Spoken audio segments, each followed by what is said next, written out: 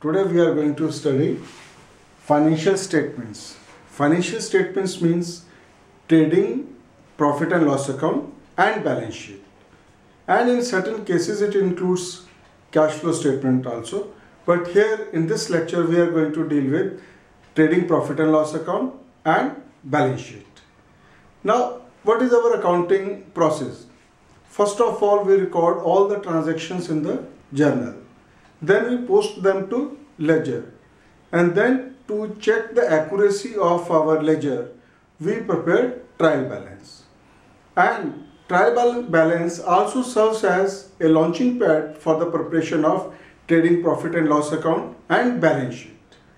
Now I will tell you how to prepare trading P&L account and balance sheet. And this process basically starts from preparation of closing entries. now what are closing entries? You know all the accounts which pertain to incomes and expenses are to be closed to either trading and profit trading account or to profit and loss account. I'll give you an example of this trial balance. You see trial balance has two sides. This is debit side, this is credit side you know all the accounts which appear on the debit side of the trial balance are either assets or expenses or losses. It could not be anything else, right? Similarly, the all the accounts which appear on the credit side of trial balance are either liabilities or incomes or revenues. right. Now, if this is our trial balance okay now we have to close all those accounts to either trading account or profit and loss account. Now which accounts to transfer to trading account and which accounts to transfer to profit and loss account i will tell you the simple fundamental rule.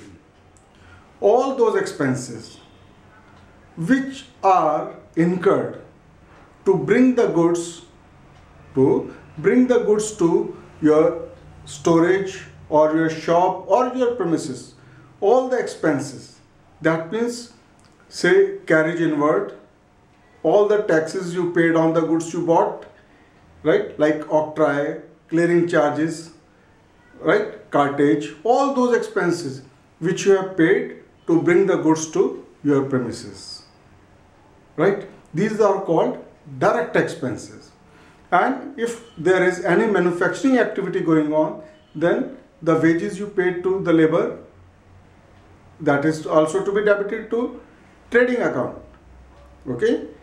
And all those expenses which relate to uh, say factory for example factory rent or factory supervisor's salary all these will be debited to trading account. Basically you know trading account is the account which will give us gross profit right and, some, and trading account will be credited with sales and closing stock or nothing else.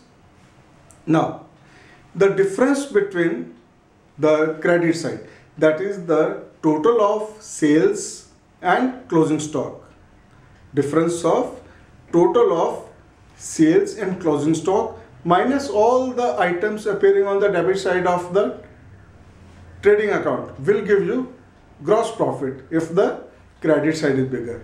Or it will give you loss gross loss if debit side. That means all the expenses are total of all the expenses is bigger than all the incomes or revenues on the credit side of trial balance. So now you're very clear that all the expenses which can be considered as direct are debited to trading account. Okay? And all those expenses which are considered to be indirect or in other words we can say which are of administrative nature or which are incurred to make sales. That means all selling expenses all kind of selling expenses like carriage outward advertising right? And administrative expenses like telephone rent and all those expenses which are considered as indirect expenses will be debited to P&L account and all those incomes all those incomes uh, which are uh, not exactly sales will be credited to P&L account. For example, if you earn some commission, if you earn some discount or any other revenue you earn except sales will be credited to profit and loss account. Right? So with this example, I will try to show how first of all we make closing entries. Okay? You see here this stock, this is opening stock. So what shall be our entry for this? You know all these are debit balances and they need to be put to the debit of trading account. So our entry will be trading account debited to stock. This is opening stock. That means this is the closing stock of last year. Okay. So first entry is trading account debit to opening stock. This one. Then purchases. You have here purchases. This. Again entry is trading account debited to purchases. Then you have sales return. This is here sales return 2700. Again the entry is trading account debited to sales return account. And then you have wages of 13,000. Again entry trading account debited to wages. Similarly carriage inward 5000. Okay. This is here carriage inward 5000. Carriage inward wages okay one two three four five items are there so which one we have missed here hmm. this is sales return okay so all these five items have been debited to trading account okay now which items will be credited to trading account of course this sales. What will be the entry for this? Sales account debited. Sales being a credit balance will be debited here. Sales account debited to trading account. Then you have sales return, oh, sorry, purchase return account. This one. Again, entry will be purchase return account debit to trading account. Is this clear? Now, the other entry we have to put is for closing stock. You know, closing stock is not given in this trial balance. At the end of the financial year, we have to do the stock taking. That means we have to count the number of goods or number of stock lying with us. Then we have to multiply that with purchasing price of that, inclusive of all the expenses incurred on that. Right? This is called closing stock. Entry for closing stock is this one closing stock account debit to trading account. Because this entry is made after the preparation of trial balance, hence trading account does not appear in the trial balance. If by chance, if you look at some trial balance and you find closing stock appearing on the debit side of trial balance, then always think that this entry has not been passed, this one has not been passed Actually at that time entry has been passed is closing stock account debited to purchases account. That means closing stock has been adjusted in purchases account. That means purchases have been reduced. But if it is not appearing in this trial balance, then we have to pass this entry. Closing stock account debit to trading account. That is with rupees 35,000. Now, if you prepare your this thing trading account, you will find that you have a profit of 2,51,000. How we arrive at this figure? Just see. The credit side of trial balance is 560 200 plus closing stock 35,500. From the sum of this figure, if you deduct debit balance of trading account that is 3 lakh 700 rupees, you get a difference of 2 lakh 51,000 this being gross profit. So entry for transferring this from trading account to profit and loss account is trading account debited to profit and loss account with 251, 2 lakh 51,000.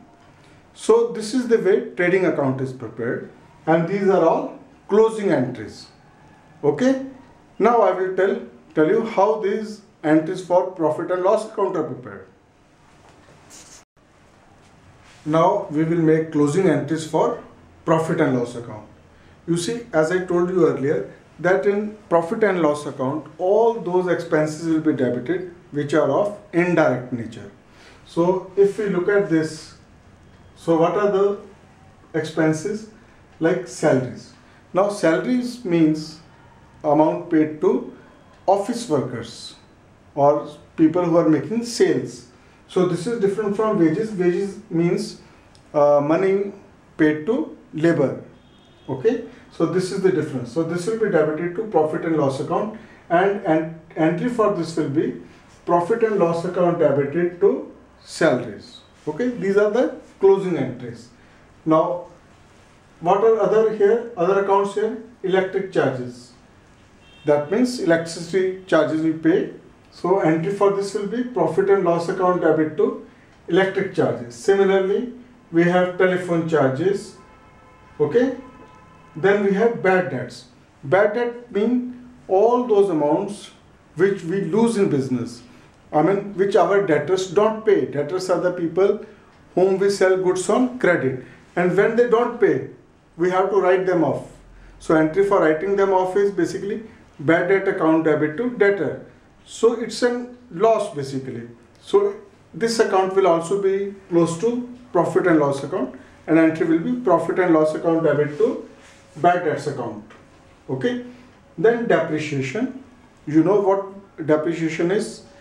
Okay. So it this account will also be close to profit and loss account. Then you have general expenses. Similarly, it will be close to P&L account.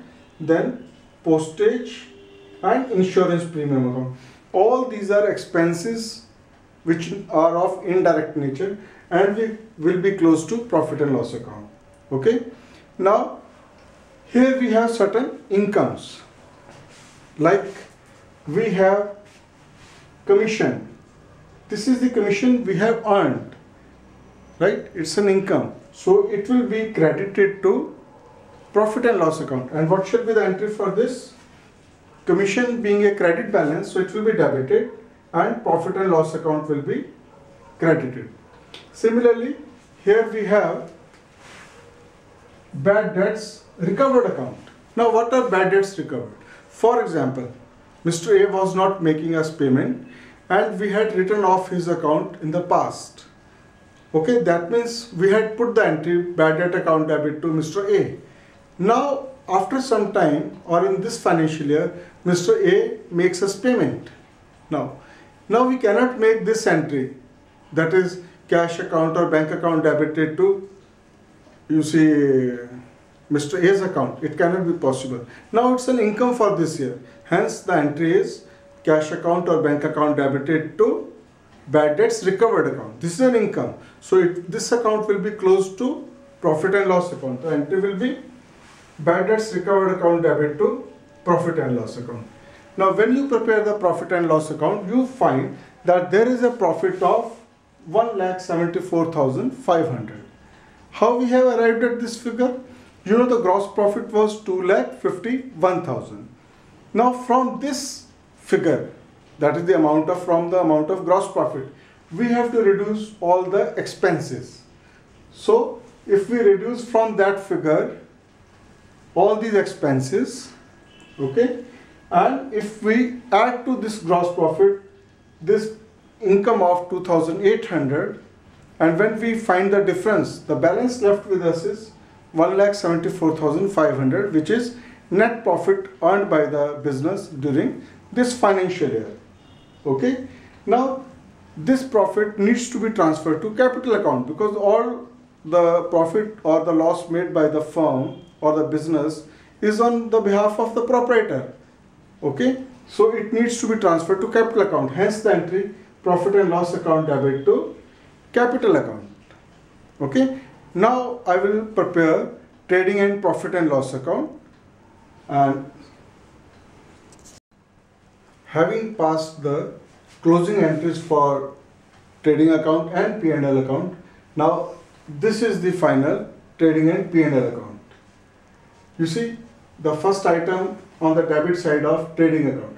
Actually from this to this it is trading account and from here onwards it is profit and loss account but it is made in the continuity so first item here is opening stock. This 30000 okay? Then purchases because it was debited to trading account. But here is a slight change. You see from purchases we have returned we have uh, reduced. Purchase return. Actually purchase return account is a credit balance. Actually it was transferred to the credit side of trading account. So there are two ways of showing it. One is that you show it on the credit side of uh, trading account. The other is that you reduce it from purchases account. Similarly this thing applies to sales return also. You see sales return is a debit balance. So it was transferred actually to the debit side of trading account.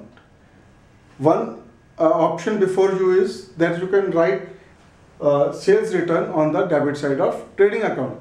The other option and the more popular option is that you reduce the amount of sales return from sales account and show the final figure in the outer column.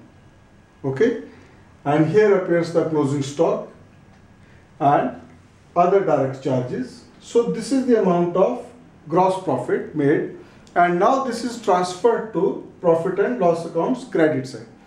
Why we transfer it to the credit side of trial uh, this Uh, profit and loss account is for the simple reason. Just see. Since this side credit side that is our income basically or revenues exceed all our expenses or the debit side of trial balance. That's why there is a gross profit. Now from this gross profit we have to reduce our indirect expenses to find out the net profit. Since this was only a balancing figure here, that's why we had written it there, but basically it is a credit balance, hence it must come here. Okay, and to this amount we have added the other incomes we have earned during the year, these ones, okay, and all the indirect expenses in this trial balance have been debited here. And this is the amount of 1,74,500 is the net profit earned by the firm during this accounting period and rightfully it has been transferred to capital account. Now I will show you the balance sheet, how to prepare it. Now I will explain you the preparation of balance sheet. But before I, before that I tell you that I have made certain changes in the figures of trial balance and that has been done so that uh, I could show you the uh, treatment of certain items okay? So let us proceed. Let me tell you balance sheet is always on a particular date like balance sheet of Messrs ABC as on 31 3 2011 that means this is on a particular day. The next day even a single transaction will change this balance sheet. Like profit and loss account is always for a period that this is for the year ending this date. Like our uh, trading profit and loss account was for the year ending 31 3 2011 but balance sheet is only on this date on 31 3 2011 okay? Now you see in the trial balance as I told you in the beginning that all the debit balances are either expenses or assets. Okay and on the credit side of trial balance there are only liabilities or revenues or incomes so till now what we have done we have shifted all our expenses to trading and debit side of trading and profit and loss account and our incomes and revenues we have shifted to the credit side of trading and profit and loss account. This we have done. Now what are the items left? If you look at it, furniture, debtors, investments, building, plant and machinery, hmm, cash in hand and cash at bank. You will just understand that they are all assets now these assets will go on to balance sheet on the asset side. They will all be shown on the asset side of balance sheet. Now there are certain liabilities. Even capital is a liability from the angle of business according to separate accounting entity concept. So now what are the items which are which have not been shifted to trading and profit and loss account? They are capital, loan from bank, creditors. Okay. Now these items will go to the liability side of the balance sheet. Okay. Now the thing is how to group them and marshal them. You see the items which will be shown in the balance sheet they should be grouped under certain headings. All similar items should be put under one single heading and all the items in the balance sheet should follow a certain order. Okay. Now there are two ways of preparing balance sheet. I mean there are two ways of following the order. One is permanence and the other is liquidity. Now this balance sheet has been prepared on the basis of liquidity. That means all those assets which can be converted into cash at the earliest very easily they are put at the top like current assets is a group and the order followed is cash in hand this comes first the cash being the most liquid right then cash in bank then debtors closing stock. Okay? Now investments. Again it's a separate category. Investments you know are made in the say government securities or shares or the debentures. Okay? And this is a separate category. So this is again shown separate under the heading investments. And this is more liquid as compared to furniture plant and machinery and building. That's why it follows current assets. Last are fixed assets. Like furniture is more liquid can be sold easily. Plant and building it takes time you know. And building is all the more difficult to sell because there are very few customers in the market to buy building or costly things. So this comes in the last. And on the liability side as you know current assets were at the top. Similarly if you are following the liquidity order then current liabilities should be at the top like creditors here.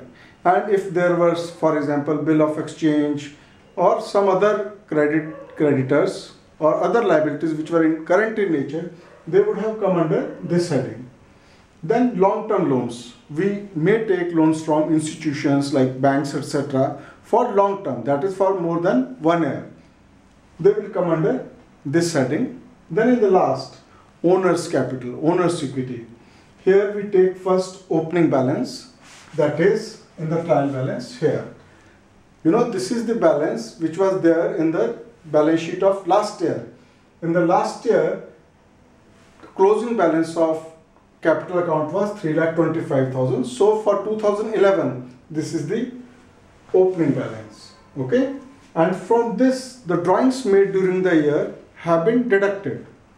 Here are the drawings 15,000 you see drawings is basically a debit balance. Okay. Otherwise we would have shown it on the asset side. But the procedure is to show it as a deduction from the opening balance. Okay. And then the net profit earned by the firm during the year is added in the capital. And this is what appears as the final figure of capital. And the two sides are total of two sides is equal. That means your balance sheet is correct. Now if you follow the permanence order for preparing balance sheet, then this order will reverse. Fixed assets will come on the top, investments will remain in the middle, current assets will come in the end. And you see cash in hand will be the last item and before that cash in bank, I mean the reverse order will follow. And similarly on the liability side, capital will be at the top, long-term loans etc. will be in the middle and current liabilities will be in the end if we follow the permanence order. And now let me tell you about the opening entries for the next year. Now this year is closed. Now when you have to open the books for the new year that is starting from 1-4-2011 then all the items appearing in the balance sheet they are the ones which will be opened in the ledger first and the opening entry will be you know all the assets all the assets account will be debited i mean the opening entry will be all the assets will be debited and all the liabilities that is including the capital will be credited. That will be the opening entry in the next year. That is the year starting on 1-4-2011 and from that journal entry the ledger will be uh, the ledger will be posted and new year will start. Now this is the opening entry for the year 1-4-2011 if you look at it all the assets in the balance sheet of previous year that is the balance sheet as on 31 3 2011 okay? The assets in this all have been debited right? And all the accounts on the liability side of previous year's balance sheet like creditors loan from bank and capital they have been credited. This means what? Actually we have brought forward the uh, accounts which pertain to assets and liabilities to the new books. Now we have opened new books. This is the first journal entry and from this posting will be made in the ledger. And in the new year's books on the ledger of new year we will have all the assets accounts and all the liabilities account. And now onwards new transactions will start. That's it. Thank you